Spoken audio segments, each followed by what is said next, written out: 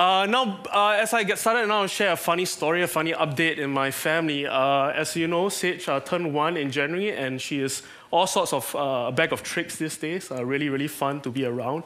And she's starting to develop, you know, uh, in speech, and so she's able to say certain words. Uh, very interesting choice of words. Uh, Dada is definitely there, but Mama is uh, not nowhere there. And she's able to identify different animals these days. Her favorite is lion, and so she would point at a, at a, you know, picture of a lion and go lion, lion, lion. And so she's able to identify not just um, the, the names of animals, but the sound that they make.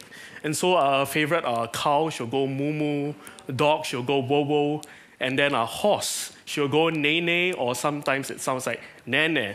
Um, and so the interesting story is uh, some weeks ago she fell sick and I needed to bring her to the clinic. And uh, I was on my own. It was my first time bringing her to the clinic on my own. And so I brought her in, and the clinic was just full of like pictures of animals. And so she was just loving it. She was like, lion, lion. Then she was like, moo, moo, moo, whoa, whoa. And then, so she was just going around.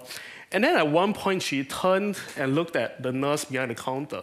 And she looked at her, and then she said, Nene. And so the nurse, in hearing that loud exclamation, was loud enough for the whole clinic to hear, uh, she went like this. No, Nana is not here.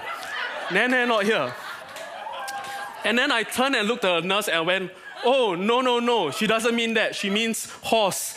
And then the nurse kept quiet and looked around and she's like, there's no horse here.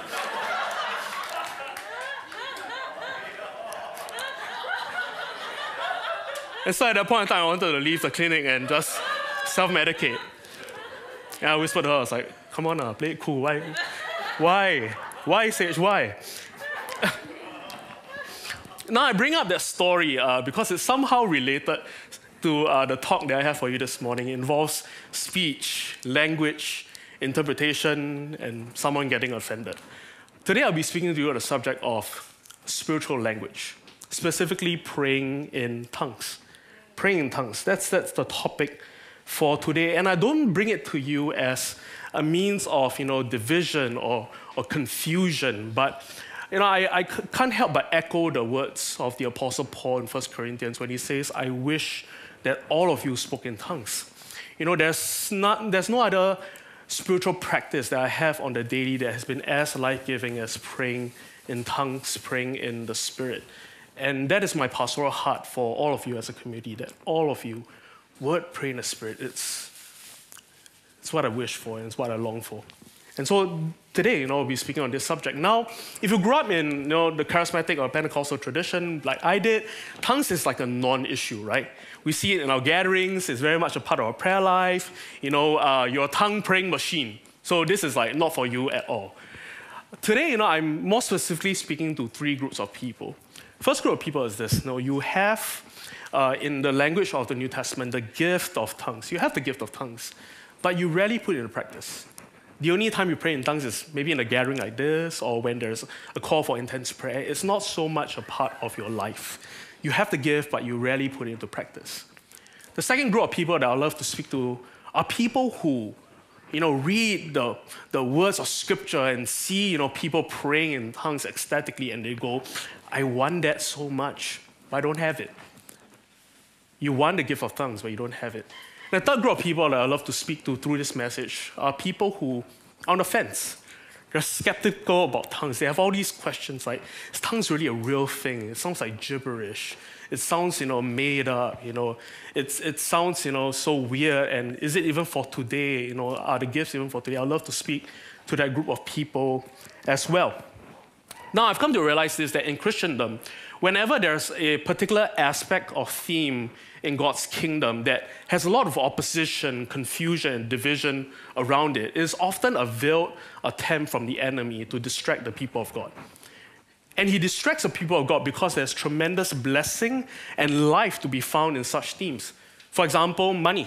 For example, generosity. There's so much division and confusion surrounding it. But Jesus has so much to say about the allure of wealth in pulling us away from faithfully following Him as disciples, but he also talks so much about the blessing that comes when people of God learn to live loosely with their resource. He's able to bless them. The enemy, I like to put it to you, doesn't spend energy on things that don't matter, but on realities that can potentially harm and destroy his kingdom. That is why I believe the subject of a prayer language, praying in tongues, is under so much distress. There's so much warfare and confusion surrounding it. So I'm led to ask a few questions as we begin this morning. Could it be that the gift that has stirred probably some of the greatest debate and division within the body of Christ is actually one of the greatest keys in unlocking the power of God in the church in these last days? Could it be that the devil has, in a way, worked overtime to make this a point of contention because he understands the power that it will release? And as a people, we often you know, underestimate the power of these languages. Now, you can probably tell there's a lot of work to do a lot of work to do, folks. Uh, so let's get started. As always, reading to you a couple passages of scripture before we enter into a time of prayer together. Reading first off from Acts chapter 2. This is the word of the Lord. When the day of Pentecost came, they were all together in one place. Suddenly, a sound like the blowing of a violent wind came from heaven and filled the whole house where they were sitting. They saw what seemed to be tongues of fire that separated and came to rest on each of them. All of them were filled with the Holy Spirit and began to speak in other tongues as the Spirit enabled them. Notice this as the Spirit enabled them. It wasn't something learned or imitated, it was as the Spirit enabled them. Read down further. Now they were staying in Jerusalem, God fearing Jews from every nation under heaven. When they heard this sound, the sound of wind and people praying in other tongues, a crowd came together in bewilderment because each one heard their own language being spoken. Utterly amazed, they asked, Aren't all those who are speaking Galileans? Then how is it that each of us hears them in our own native language? Reading also from 1 Corinthians chapter 14 says this in God's word Follow the way of love and eagerly desire gifts of the Spirit especially prophecy. For anyone who speaks in a tongue does not speak to people but to God. Indeed, no one understands them. They utter mysteries by the Spirit. This is the word of the Lord. Now, before I go on further, I would like us to remember and, and kind of frame this exploration. This series that we're on is about prayer. And prayer, simply as at its root, is this you know, act of love and intimacy and connection before God our Father. And so today we aren't just talking about a manifestation of the Spirit or a gift of the Spirit. We're talking about a means of grace, a pathway towards experiencing a depth of love and intimacy. And Jesus, through His Spirit, has given us this means of grace, this pathway. And don't we all desire to experience that depth of intimacy and love with God? And so the question we are more inclined to explore today is what will it look like for all of us to walk in a greater depth and intimacy with God, our Father. So today my message for us is this praying in tongues. Very simple, no fancy, praying in tongues. Let's begin with a word of prayer.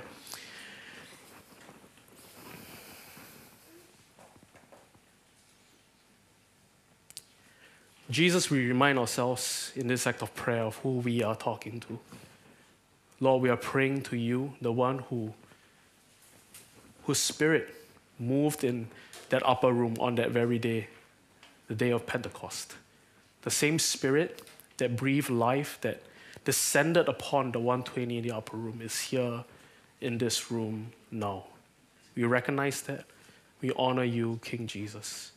And Lord, we recognize that there's so much confusion and, and doubt and uncertainty surrounding what we're about to explore.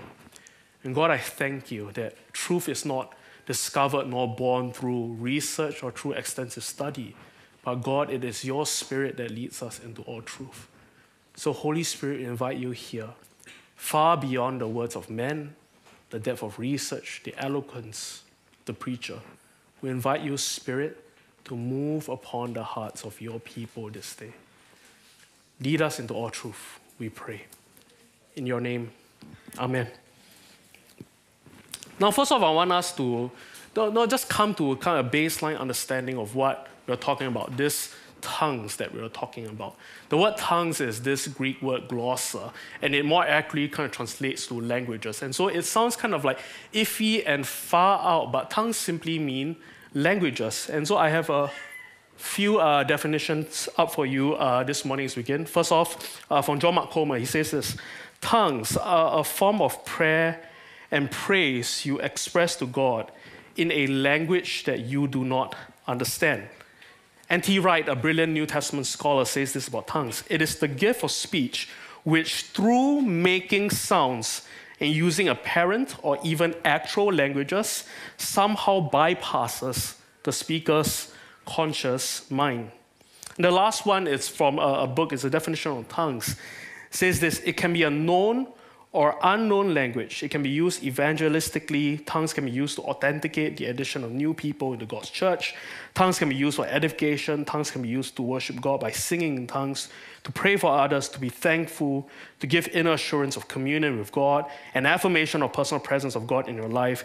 This gift can bring you joy, allows you to cry out to God over others when words do not come. You can deeply be, be deeply changed and moved by this gift. This is a few definition of what tongues is. Now, tongues is often heard in this, in this environment, in times of, especially of intense prayer and of singing. We hear tongues all the time, and that is what tongues is, is this kind of, you know, language, sometimes known, sometimes unknown, that bypasses the conscious mind, that allows us to express to God in ways that no mere human language cannot. You know, it allows us to enter into a deep posture of prayer, it allows us to sing to God, you know, in, in what Paul would describe as spiritual songs. This is tongues. Now, Paul would say this in 1 Corinthians chapter 14 follow the way of love, eagerly desire the gift of the Spirit, especially prophecy. Anyone who speaks in a tongue does not speak to people but to God. Indeed, no one understands them. They utter mysteries by the Spirit. So we learn three things about tongues in this short little verse. The first is this tongues involve speaking to God and to not each other. Paul would say this the one who has tongues does not speak to people but to God. Tongues are to God and not each other. The second thing is this uh, it is mysterious. It transcends our human understanding. It lays outside of what we are able to comprehend. That is, neither the speaker nor the hearer, in many instances, know what is being said. Tongues are mysterious. And the third thing is this that tongues can but don't need to be a known human language. Now, within the scope of 1 Corinthians 14, it is said that tongues cannot be understood. 1 Corinthians chapter 13, verse 1 says this that Paul would pray or speak in the tongues of men and of angels. And so we gather here a few conclusions. The first is this tongues can be intelligible human languages, and it can be an unintelligible angelic language. It can be an understandable human language, but it can also be an ununderstandable angelic language. The former warrants translation, and the latter warrants interpretation. So I, I have that. Uh, I have a list of uh, definitions or, or, variants of tongues. The first is this it's an intelligible human language that, are, that is previously unknown to the speaker that is used for the proclamation of the gospel. We'll get to that shortly. The next is this it's an unintelligible prayer language that edifies the speaker. No one understands what is being said. But the scripture tells us that when we pray in this angelic language, that the self is edified, is built up. We'll get into that later. And the third is this it is an unintelligible prayer that requires the gift of interpretation for the building and edification of the church. This comes from 1 Corinthians chapter 14. Now, when I was building out this sermon, you know, I had in mind to do a verse by verse exposition of 1 Corinthians chapter 14. And let me just run it for you. There are 40 verses there. It's immensely complex. And then by the time I was done doing all of that, I realized that you'll be here until like 1.30 at least. And so I'm, I'm not going to do that uh, this morning. I'm going to put it maybe in another paper that we release. But uh, you know, there's so much in there that, that talks about the order of worship and how how tongues is to be expressed in a gathering like this. And some of it is contextual, some of it, I believe, has relevance in our day and age. But I'd just like to make a simple point, and that is this that we don't often see and hear the gift of interpretation because much of the church has neglected the order the, the way of love that Paul describes in that text. And I, I think you know, that, that we can come a certain ways in you know, making more room in our services for that gift to be expressed and manifested in our midst. So that's just a side uh, little thing. Now, some today dismiss tongues as just mere gibberish like senseless babbling that has little to no uh, value that is for the seemingly unintellectual and un- uneducated. And yet, Paul, as a trained Pharisee, you know, he would have, by estimate, some 20 years of college level education. This was a man deeply steeped, not just in culture, but in knowledge. He was a very highly educated man. He was the cream of the crop. And yet, Paul would say this in 1 Corinthians 14 18. I thank God that I speak in tongues more than all of you. Paul, as a highly educated man, as someone who, you know, what many would regard as second to Jesus in establishing the New Testament church, saw it fitting and right to pray in tongues, not just on occasion, but regularly, frequently, as a part of his life. Now, the gift of tongues is a New Testament distinctive, folks. The nine gifts of the Spirit listed in 1 Corinthians 12, all of them are mentioned somewhat in Old Testament, except two the gift of tongues and the interpretation of tongues. And this, you know, this kind of uh, um, uh, distinctive is not, I would like to put it to you, is not just a New Testament distinctive, uh, not just a Pentecostal distinctive. It is a New Testament distinctive. And I will go on further to explain that. Now, the first time we see the gift of tongues present in the book of Acts, chapter 2, the text that we read earlier, it kind of describes not just the outpouring of the Holy Spirit, but the birth of the church. This is when the church was born on the day of Pentecost. Corey Russell would say this about that day. On the morning of that feast day, a group of young fishermen, most still only teenagers, stumbled out of that upper room, looking drunk and babbling in other languages. Think about this if you were God and could use anything as a vehicle to release your will, desires, and purposes into the world, how would you have birthed a church on the day of Pentecost? Really, how would you have done it? Where would you have placed your greatest resources of strength, wisdom, power, and wealth?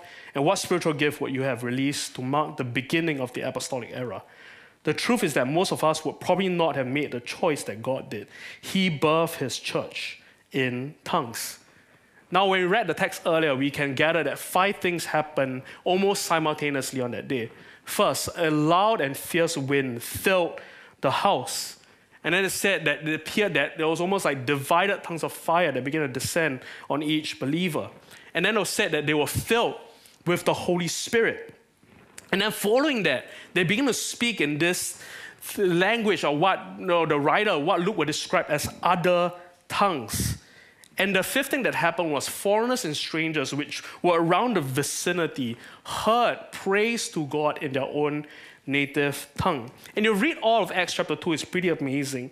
Luke lists you know, some of the widespread linguistic origins of the crowd, and it lists some 15 geographical areas with their unique languages, and all these languages being heard on that day. And so, God in this moment was enabling these first Christians by giving them this divine ability to speak all at once in many languages that they do not know in order to begin the process of bringing the world back to God through Jesus and his people. Now, beyond this phenomenal spiritual experience, as amazing as it is, there was actually something deeper, a more profound grace that was released in this moment. In Genesis chapter 11, taking you back, we read that at one point humanity had one language. They had one language, and it said in the scripture that they were set on building a city with a tower that connects heaven and earth. And it was said that they longed to do so so that they could make a name for themselves. And so, hear me humanity, one language, united with a singular purpose to make a name for themselves. And God declared that because they had one language and that they were united in their efforts, Genesis 11 6 will say this that nothing will be withheld from them. In some translations, it translates to nothing is impossible for them because they were united in one language, they were united in motive, in desire, nothing will be withheld from them. And we read that further that God began to confuse the human language and disperse the nations over the face of the earth. We read this in this text. So the Lord scattered them from there over all the earth and they stopped building the city. That's why it's called Babel. Interesting, right? You know, when, we, when you make sounds that nobody understands, you call it babbling. Maybe, I don't know. Eugene, you think? Yeah, I think so. Because there the Lord confused the language of the whole world. From there the Lord scattered them over the face of the whole earth. And so at this point they could not understand each other. They, they could not you know, be united in purpose. And so they stopped building and they were no longer of one mind, of one language. And, they, and everything ceased. And I believe this is an act of God's mercy, so He didn't have to judge them by the severity of their sin.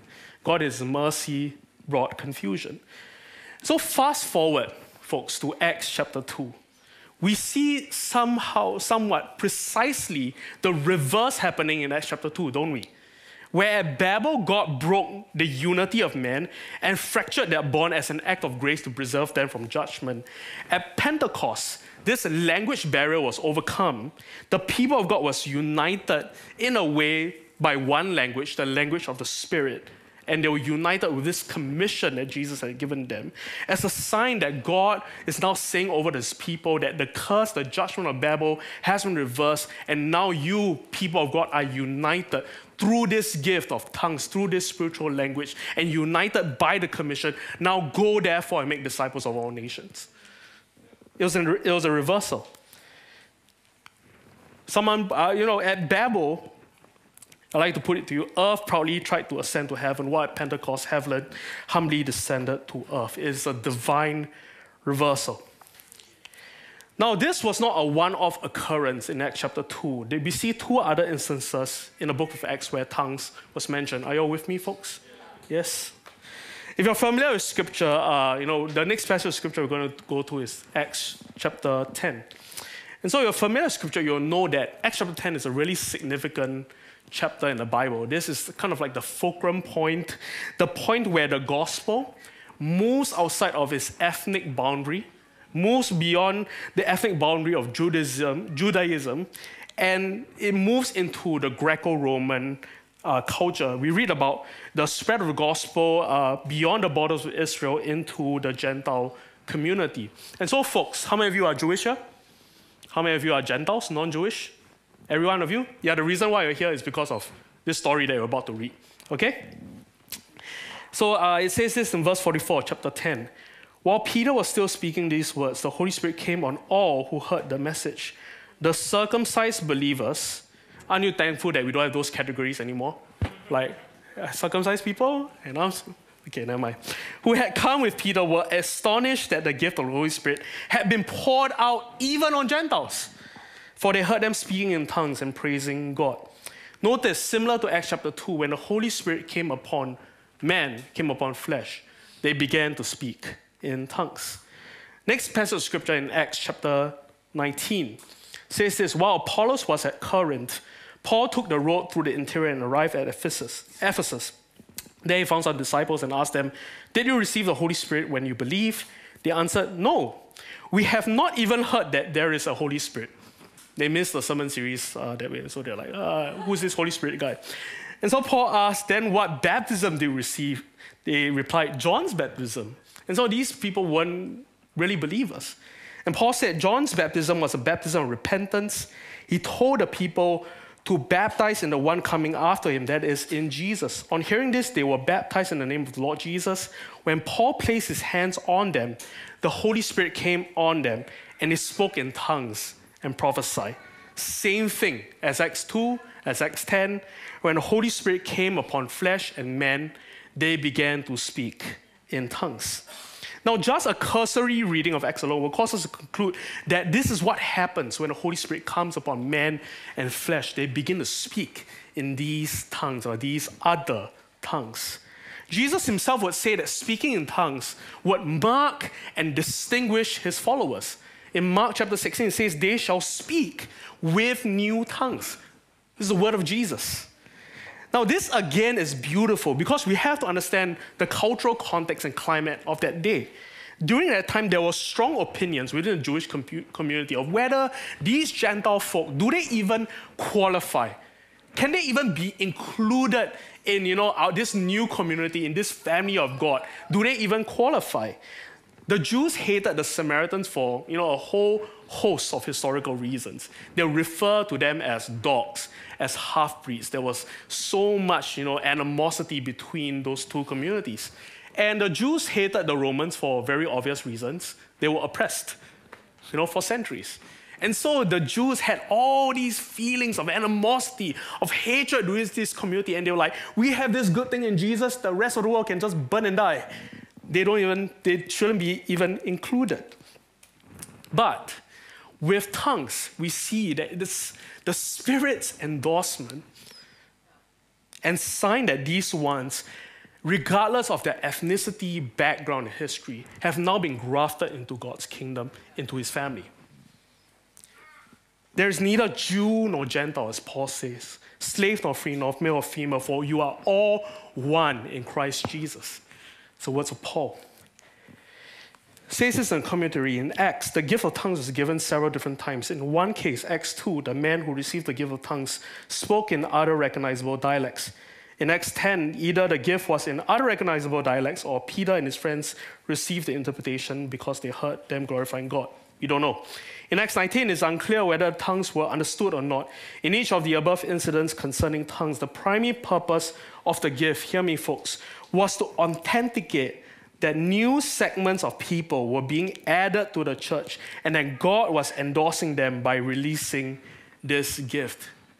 Isn't this beautiful? That tongues wasn't a sign to mark believers. It was a sign that these people, whom everyone thought were unqualified, unworthy, and to be excommunicated and alienated, now because they had received this gift, the infilling of the Holy Spirit, they now belong to the family of God. That's a rich heritage you have in this gift, folks. Can you, can you imagine that? You know, because you speak in tongues, folks, even though I hate you and I'm supposed to hate you, but because you speak in tongues, we are now brothers and sisters. This is the sign of the Spirit. And so we gather from Acts that the gift of tongues was deeply significant for followers of Jesus for a few reasons. One, it was a sign of the reversal of the judgment of Babel. It was also a sign that the Holy Spirit had come upon an individual. It was a sign that someone had been grafted into the family of God it was used to proclaim the gospel in other tongues and other languages. And it was also used to praise God. And that's what we see in Acts 10 and Acts 19. This is beautiful. Now, before we move on any further, we have to pause and acknowledge something. And this is something that, as a pastoral team, we want to acknowledge and, and call out. And uh, there are certain beliefs, both historical and modern, about tongues, about the gift of tongues and how it relates to the baptism of the Holy Spirit and our salvation. And there's this particular belief that we as a pastoral team uh, want to affirm, as, at least in our understanding, that we believe that this isn't truthful and it's potentially harmful to the church, to the people of God. And that is the belief that if you don't speak in tongues, you're not filled with the Holy Spirit. If you don't speak in tongues, you're not filled with the Holy Spirit. Now, there is a belief that certain denominations hold that the baptism of the Holy Spirit, right, the gift of tongues specifically, is the initial outward evidence of the baptism of the Holy Spirit. That is to say, if you're filled with the Holy Spirit, it is evidence, it is seen, initially meaning first, and outward evidence meaning seen, the gift of tongues. So, in a way, to prove or to validate your baptism of the Holy Spirit, you would speak in tongues. Now, there are 22 stories in the book of Acts of people becoming followers of Jesus. And in three of the 22, we see them being filled with the Spirit and begin to speak in tongues. But, folks, we don't see this happening in the rest of the stories, in the rest of the 19 stories. And so we can conclude that, yes, this happens to people. But no, it does not happen always, at least immediately. At least anecdotally, we will know that there are men and women who faithfully follow Jesus, who love Him with all their hearts, who walk in the gift of the Spirit, who walk in the fruit of the Spirit, who are kind, merciful, gentle, who move in power, who simply, at this stage in their life, at this point, do not have the gift of tongues. Billy Graham is such an example. He did not speak in tongues until he died. he believed in tongues. He believed that the gift of Spirit was still for the church today, but he just did not speak in tongues. And I'll venture to say that Billy Graham was filled with the Holy Spirit. Many of them want to. We know people, we know, you know Christian figures who want to have the gift of tongues, but they simply don't have it yet. Now, I believe the simple evidence in God's word is this. Hear me.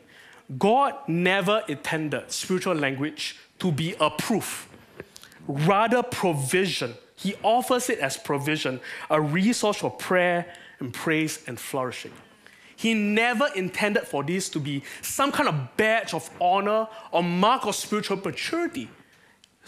But we reduce it to evidence, to proof, when God has intended for this to be provision, a life giving means of grace, a pathway to deeper intimacy with Him.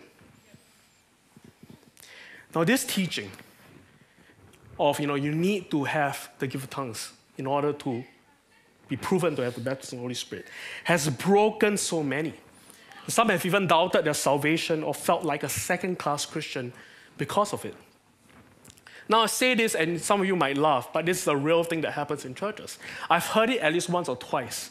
You know, people go like, I want the gift of tongues, but I just don't have it. And actually, someone going up to the person and say, hey, if you say should have bought a Honda, but I bought a Kia five times fast, people at least you know, think that you have the gift of tongues, or maybe you might stumble into having a gift of tongues one day. This actually happens. And people feel compelled to fake and perform in order to fit in. And we are motivated by more external pressures rather than internal longing for the Spirit's renewing work. That is the kind of culture that happens when we entertain what we believe pastorally as untruthful. Jesus didn't say, By this they will know that you're my disciples if you all speak in tongues. His standard was far higher, far greater, far more costly. It was love. And yet, at the same time, we're admonished by Paul to eagerly desire spiritual gifts. The word eagerly desire can be translated to jealous, longing, seeking, or hear this, coveting, to be greedy for. It's intense longing that's followed by intense seeking. The spiritual gifts that Paul talks about is from a list of uh, 9 in 1 Corinthians 12. It's the message wisdom, message knowledge, faith, gifts of healing, miraculous powers, prophecy, distinguishing between spirits, tongues, the interpretation of tongues. Now, many times when we read spiritual gifts, we think it's like an anagram kind of thing that one of us will have, you know, we'll have each have be deposited this kind of superpower, right? We'll get this kind of gift, and like, you know, for some, you know, it's prophecy, miracles. For others, it's administration. You know, so here I am praying for the sick to be healed, and there you are fiddling with Excel, and we're all good in God's kingdom.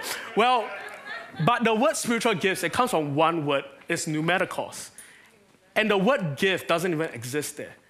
Gordon Fee, this towering intellectual Pentecostal theologian in, in New Testament, particularly in the words of Paul, would say that a better translation of spiritual gifts, pneumatikos, is the word spirituals, or I love this stuff the Spirit does. Basically, it's to say that when the Spirit comes in a room upon a person, these are the things that happen. Which says to me that there are two ways to read this. It's either we go, okay, which of the nine are mine? Come on, miracles, come on, miracles. Or we go, Lord, my hands are open, my heart is open, my whole body is open to you. Come and do as you will. All of the gifts are available for you. Which is why Paul would say, I wish and I long for all of you to speak in tongues. Why? Why did he wish for us to do so? Because tongues extremely powerful. It's this means of grace and pathway. I want us to say this again and again to enter mercy with God, love Him. So I'll have to end with you know, some biblical reasons for why we pray in tongues. And many of us know the scriptures. We know that we should pray in tongues. We know what it does. But I would love to accompany the scriptures with some stories of my own, people that I know, and uh, how you know, it's really nourished and benefited their life. First off, in Jude chapter 120, it says, But beloved, building yourselves up in your most holy faith and praying in the Holy Spirit. First purpose of tongues and what it does to the human soul, our body, our spirits, is that it strengthens us. It's for the purpose of strengthening.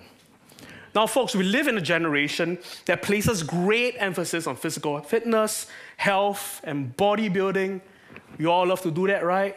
The other day I was looking at a passage of scripture in Leviticus. It says, All fat belong to the Lord. And I was like, I thank God I belong to the Lord more than any of y'all. But at the same time, the Holy Spirit being moved on me. I was like, Exercise, Andre, get off the couch. You belong to me, but I would love you for you to remain on earth longer. That's bad exegesis, by the way, but uh, however, even though you know there's this emphasis on fitness, well-being, you know, being emotionally and mentally whole, Christians may be fit in their bodies, but many of times are weak, apathetic, and vulnerable to every attack of the evil one. And God has given us the gift of tongues as a means of edification, strengthening us in our weakness, our temptation, fear, anxiety, and the like. Now, there's a missionary that many of us are familiar with, Jackie Pullinger, who had been ministering in Hong Kong since uh, the early uh, 1960s. It says that in the early days of her ministry, she specifically worked with gang members, prostitutes, and drug addicts who lived in a portion of Hong Kong known as the Walled City. And in her book, Chasing the Dragon, she shares many stories of addicts who were miraculously delivered through praying in the Spirit. She shares this testimony of a heroin addict named Ake for, who had this 10, uh, who had this habit of you know, taking heroin for some 10 years, a $100 a day kind of habit, who, through praying the Spirit, withdrew painlessly for some 10 years of addiction. Jackie Pullinger said this that if he experienced any twinge of pain in that, you know, what's it called, uh, withdrawal, he would pray in tongues, and the pain would miraculously leave him. And then this story began to take traction. It went viral. And a little later in the book, she writes, Word quickly spread along the added grapevine, the addict grapevine, that if they were willing to believe in Jesus, they will receive some kind of power that enabled them to kick drugs painlessly. As each boy arrived, the miracle was repeated. He came to Christ and came off drugs painlessly when he began to pray in the language of the Spirit. Edification, folks. The next purpose of tongues is for intercession. Romans 8 says this Likewise, the Spirit helps us in our weakness, for we do not know what to pray for as we ought. But the Spirit Himself intercedes for us with groanings too deep for words. Now, there's this thing I realized in my life that whenever I wake up in the middle of the night, some 2, 3 a.m., for no particular reason, it can only be one or two. Either I had really bad pizza, or God is calling me to pray for someone. And so on the days I don't eat pizza, I mean, God, you're calling me to pray for someone. And it's just a habit, right? And so I wake up and I don't know who I'm praying for. I don't know why you know, I'm up. I don't know what I'm supposed to do. And the only thing I can do in such moments is pray in the Spirit. And I can't begin to tell you the number of times where you know, that would happen in the middle of the night, and I'll wake up in the morning to either a piece of news that is personal or a piece of news uh, you know, in the world. And I knew, and I knew then that that was what I was praying into and praying for. Now, there was a particular instance uh, when I was in the US. Uh, it was my third year in ministry school. I was assigned a group of students to essentially care for and disciple. And one night, you know, in the middle of the night, I was woken up at five, in, no, six in the morning. And I was like, I don't wake up at six. Well, these days I do because I have a one year old. But back then as a student, wake up time was like 10. Uh, so 6 was like, whoa, middle of the night. So 6 a.m. I wake up, I was like, what on earth, this ungodly hour? And I was like, why am I up? And I was like, okay, I guess I should intercede. And so I began to pray in tongues. I didn't know what I was praying for. And so I prayed in tongues for five minutes. And then I'm like, okay, okay, I feel burden release. Let me go back to sleep. So I went back to sleep. And five minutes into my sleep, I get a call from one of my students. And he says, Andre, I'm, I got into a car accident. Can you come to the hospital now? And so I went to the hospital, and uh, he began to tell me what happened. He was riding his bike uh, along the road, and he got T-boned by a car. And the way he was clipped was in such a way that instead of going under the car, he was essentially spun away. It was this very small part of the bike that if you clip it just right, he essentially span away from the, from the car and he only had minor scratches and bruises, not even a single broken bone. And it was there and then that I, I, I knew, and I knew I knew in my heart. You might say it's coincident, but I knew then that that was what I was praying into. That's what happens when we pray in tongues. And that's what we're invited to when we intercede with the Spirit. And so, you know, even in light of this conflict that we are seeing in our world today, sometimes I, I ask myself, like, how do I actually pray into this? What do I pray? Like for Russians to die? For missiles to not explode? What do I pray for? Or should I, or do I go like, man, you know, like these are the signs of the last days, and so I pray, but then I'm also okay with it happening because it's a sign. How do I actually pray? And it's in moments like this I thank God for the gift of tongues because the Spirit intercedes with groanings when I don't know how to pray. I thank God I have the gift of tongues. The next thing we're given is for praise. Ephesians 5 says this that we give, uh, we speak to one another with psalms, hymns, and songs from the Spirit. Psalms are biblical songs from the Hebrew book of praise. Hymns can be translated as sacred songs or songs of thanksgiving and praise that are written. And spiritual songs is the word pneumatikos, which literally translates to songs of the Spirit. Biblical songs, songs that are written, songs of the Spirit. Charles Wesley wrote this famous hymn titled Oh for a Thousand Tongues to Sing. And was said that this line was inspired by his mentor, who said this that had I a thousand tongues, I would praise him with them all. Now, this hyperbole captured his mentor's deep desire to express a deep love for God, to express to him a kind of worship that transcends the limitations of human language. I wonder if you have ever had a moment in worship where you go, God, I just want to give you so much praise. I just want to express my gratitude to you. And the words that are up on screen just don't cut it. And what happens? God has given us the gift of tongues to express to Him in a way that one tongue cannot, cannot fully kind of express. In tongues, we pretty much enter into that song, oh, for a thousand tongues to sing psalms, hymns, spiritual songs. Now, the last uh, thing that we're invited to through the praying of tongues is into communion. Into communion is to en- experience a depth of intimacy with Him. I'm running out of time, but love to end off with a quote from N.T. Wright. He says this Tongues is experienced as a stream of praise in which, though the speaker may not be able to articulate what precisely is being said. Sense of love for God, of adoration and gratitude wells up and overflows. This last line it is the private language of love. Think about it. Is this language that only you, only God comprehends? No other one is able to understand this. Is this private language of love? Can you feel the depth of communion and the mercy that is possible through this pathway and gift? And so, as we end, some of you do not have the gift of tongues this day. And you want it, you would love to have it, but you don't know how to get started. And you know, uh, as far as I see, you know, I, I ask many people like, how do you receive the gift of tongues? What actually happened? What took place? How do you posture yourself to do it? And it always starts off with a longing, a desire. As you read the words of scripture, I long for this, I want this. And then it goes into seeking. As Paul would say, eagerly desire the spiritual gifts. It may look like receiving prayer, which we will make available at the front after service. It may look like, you know, posturing yourself in a, in a posture of tarry before God. For some, it's in a service. For others, it's when you are alone. I didn't receive uh, the gift of tongues in a service. It was in my bedroom when I was on my own that I started to speak in other tongues. It's also to move into a posture of openness, to receive to be open with the Spirit doing stuff in you that transcends your mind and your understanding. You know, I wanted to show this video of Francis Chan uh, sharing at a gathering in IHOP about how he don't he doesn't speak in tongues, but he wants to and he loves everyone as brothers and sisters. I want to show that as a means of illustration. And as I was searching for that clip, I chanced upon this interview that he did last year. And he shared that he was on a phone call with a theologian that has written extensively on tongues. And on that phone call, he received the gift of tongues. And so Francis Chan speaks in tongues today. And the same interviewer did another interview with Max Lucado last year.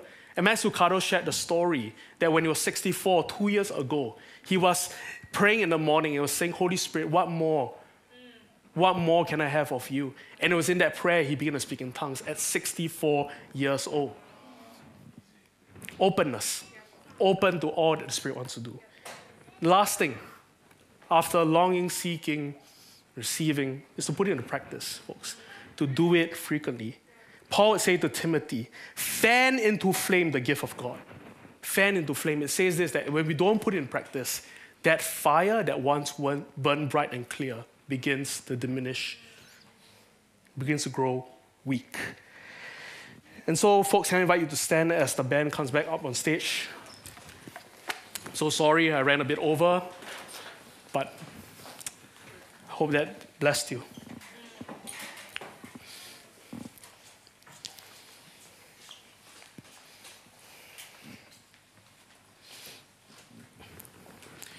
Now, there's this view uh, surrounding tongues that tongues are not for today in, in that language. And it's a cessationist view, meaning that the gifts of the Spirit are no longer active, they no longer are needed for the church in this day. It says in 1 Corinthians 13 that tongues will cease. For we know in part and we prophesy in part. But Paul will clarify that text further in verse 10 when he says this that when the perfect comes, when completeness comes, what is in part disappears. For now we see only a reflection as in a mirror, then we shall see face to face.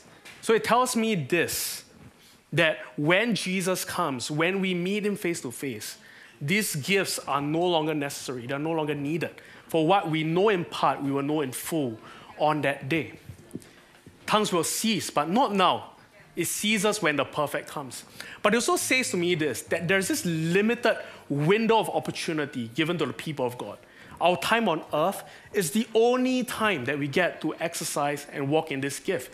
This gift that transcends our understanding, our comprehension, that is so confusing and mysterious, Jesus gives to us. Why? Because it tutors our hearts and minds in dependency, in surrender, and in trust. That is the gift that God gives to us through the tongues. It's not just a mere prayer language, it's so much more than that. It's to experience a depth of intimacy with Him.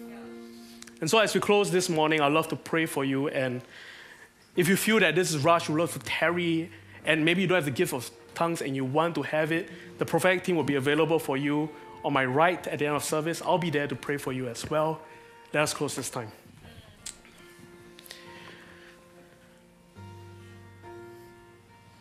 Spirit, we thank you for this gift. This gift that you've given to us, not for our harm, or confusion or, or embarrassment. Father, we recognize that you are the one who gives to your people good gifts. Every good gift comes from you. And so we want to first of all say that tongues, this gift of the Spirit, is a good gift.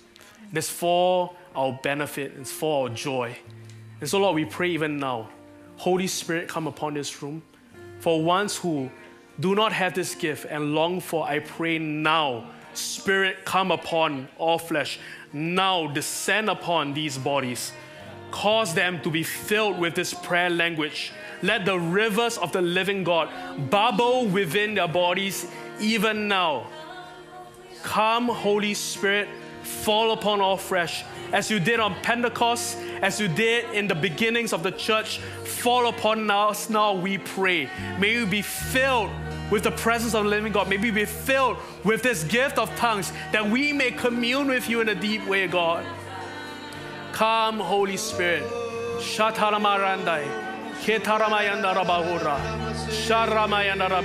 Come on, begin to sing to God.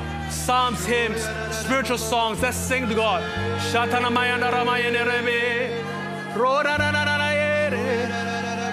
Sing to Jesus, sing to Jesus. Yes, Jesus.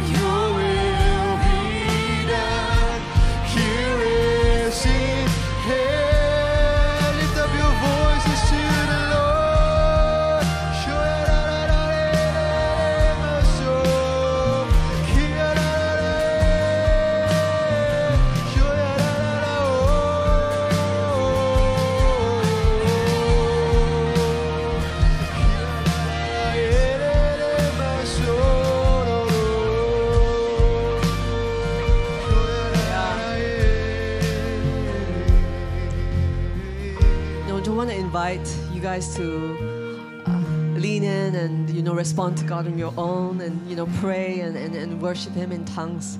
And for those of us, uh, as Pastor Andre said, you know, we invite you to respond and have someone pray with you. You want to contend for breakthrough. Our prophetic team is here, ready to pray with you. Uh, yeah, and then just you know lean into this and we'll, and let me just pray as we close our service today.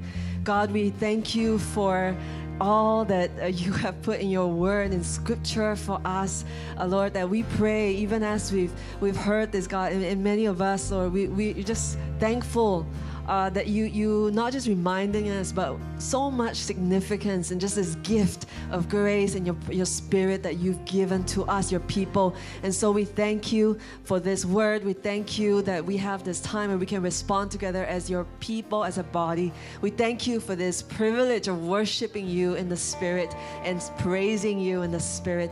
And so with this, we say yes to you. And the rest of the days uh, this week, Lord, continue to just teach us to lean in and be open to what your Spirit wants to do in us and through us, Lord, and to be a blessing in the world where you send us to. In Jesus' mighty name we pray.